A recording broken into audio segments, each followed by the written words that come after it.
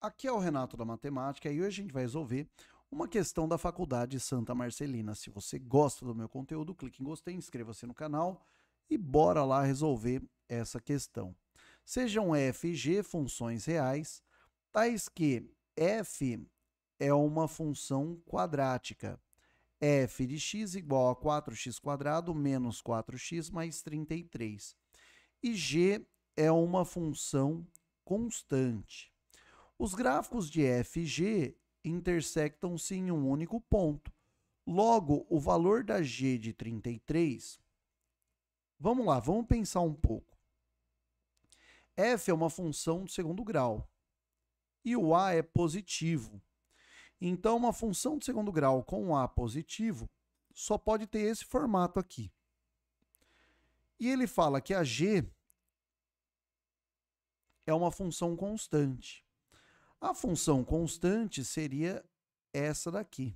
Além disso, ele diz que os gráficos de f e g se intersectam em um único ponto.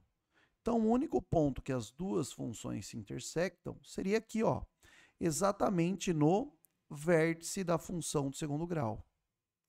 Por quê? Porque se ele cortar um pouquinho mais para cima, ele já vai bater em dois pontos, tá? Então, esse seria o vértice. Se eu for calcular o y do vértice, por quê? Porque aqui, tecnicamente, a gente não sabe exatamente como está o gráfico, né? Mas eu vou supor, ó, que aqui seja y e aqui seja x. Então, quer dizer o seguinte, o vértice vai estar tá em algum ponto aqui em cima. E o vértice vai ser por onde passa a função constante. O y do vértice é dado por menos discriminante sobre 4a. Calculando então o y do vértice é igual menos o discriminante, que vai ser b quadrado menos 4 ao quadrado, menos 4 vezes o a, que é 4, vezes o c, que é 33. Menos discriminante dividido por 4 vezes o a, que no caso seria 4 vezes 4. Então, o y do vértice seria igual a menos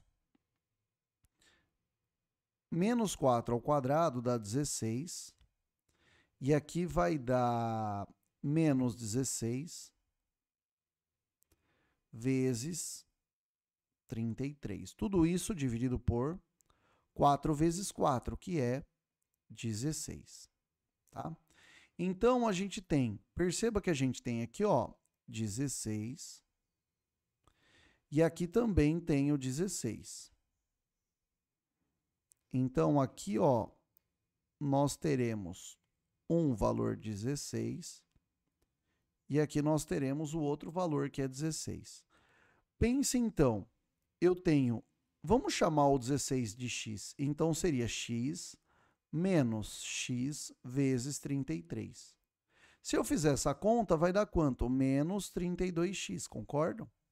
Então, quer dizer que se eu pegar essa conta, eu poderia escrever ela da seguinte maneira.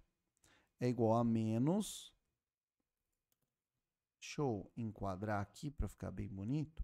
Ó, vai ser menos 32 vezes o x. O x, no caso, é o 16. Então, menos 32 vezes 16 dividido por 16. Dá para a gente cancelar o 16 com 16. Menos com menos vai dar mais, ou seja, o y do vértice é igual a 32. Se o y do vértice é 32, quer dizer que a g de 33 vai ser 32. Por quê? Porque a g de x é uma constante. É como se a g de x fosse igual a sempre a 32. Portanto, a alternativa correta aqui da questão 16 é a alternativa E.